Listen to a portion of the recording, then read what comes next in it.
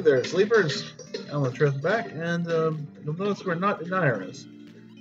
Well, now we can talk to people again, and we have uh, the ability to both jump and run and jump, there's a few small things we can take care of on the side. So it took us back to the main town of, uh, you know, I forgot the name. In any case, we'll talk to some things we missed the first time. We mentioned the weird flower in the uh, church garden. Something about it is different. Even though I've personally had my fill of flowers, let's look for this one. Again, one of these is different, but they're all moving, so this hurt your eyes for a second, try to figure out where it is. You guessed it is right here. You're correct. Your prize is another golden apple. Huzzah. Okay, next we're going to run off to the plaza. Oh, let's stop in the church real quick. Again with the heaven music, but um, I like it. Another mention of Iris. Other one's angry about the lack of faith. Which is actually kind of true, I guess. well, yes, I have, Alice. Well, she does a turnaround of liking heroes at the beginning of the story and suddenly being like, wow, wait a minute, maybe violence is wrong. No. Oh, well, let's run to the plaza, see if we can't find Pico. Or hey, let's see if we can go talk to Bull. See what he's up to. He's still running away from us and hiding in the mermaid shack. Bah. Okay. Nope. Back to normal. I guess that's all he has to say.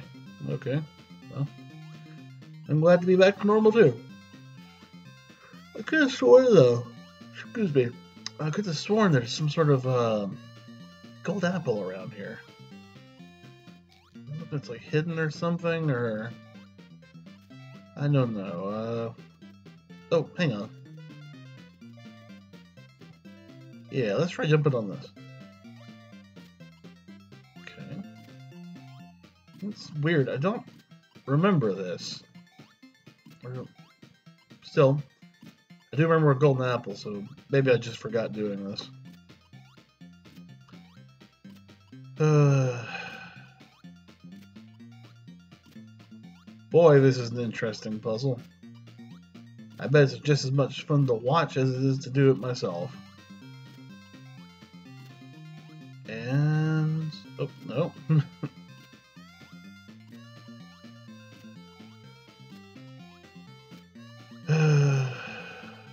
hitting the training ground after this. After the, this episode, I should say. Finish up the, getting the medallions, get ourselves a holy sword. And after that, we'll head back to Iris. Check out what's going on with the snow. I mean, a lot of things. It's, it's hard to remember to come back this far, because, uh, you know how it is. You see something in the beginning of the game. Oh, here we go. What? One apple? Okay, now I'm a little pissed. If I did see that last time I played, I probably blocked it out because it was so stupid. All that work for... okay. Well, here's some other stuff in the area. Let's put a Leviathan on real quick. This whole thing of rocks has nothing but little moles in it and a few spots where you can stand on. It really has no purpose because, again, if you st you're still standing on them when the mole pops up, you get hurt. Uh, you know what? After that crap with the apple, I'm not jumping on all of these. Let's just get out of here. Oh, and this is a slide. Quite good. But nice little touches whenever you land. It leaves a little imprint. Oh, we never did talk to this one, did we? Let's see. Okay. The raccoon's tricking people.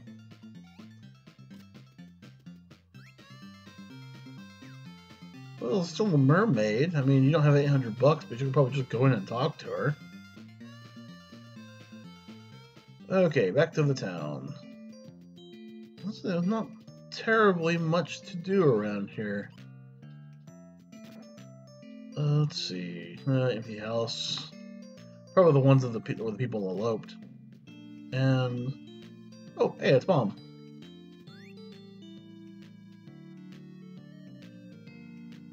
Hey, she bought me a house. That was nice. Ten bucks? Yeah, sure, why not? Yeah, well, I am saving the world.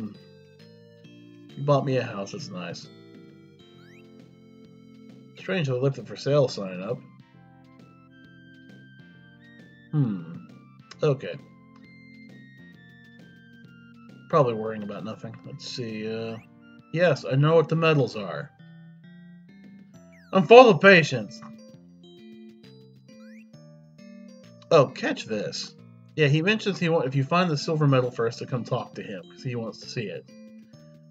I'll, I'll probably cover this a bit later, but he'll actually ask you to give him the silver medal, and you can, and you can't earn another one. Oh hey, mom's back home. That's nice. How'd you get over town so fast?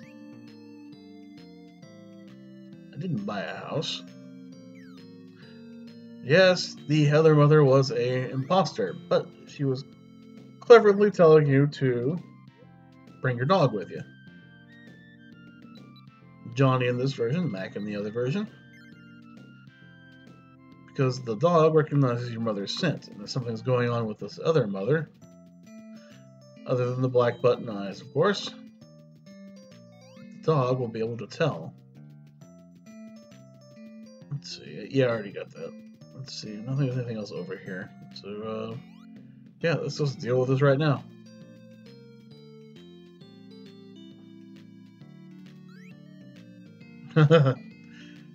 Someone suspicious.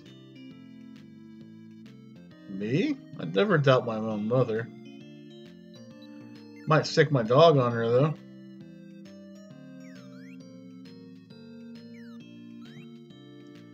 Aha. Uh -huh.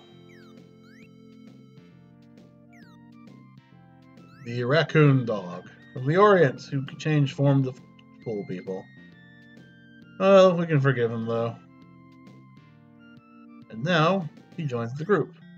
He's another arguably useless one. He, I guess he has a sort of function.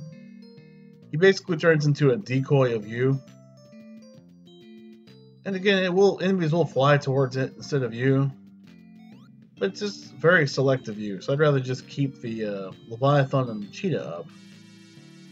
Speaking of which, you want to have the Cheetah up for this next part. No, not for talking to the soldier in the bathroom who's complaining about itchy. Tasty. No, for this part. Ah, the king has a cheetah rug. But a, hmm, a ray of magic moonbeams hit the teardrop and brought him back to life for a moment. And Mr. Fusspot doesn't care much for the maid. He don't care for much for her either. Anyway, she decided to go into the water and another golden heart.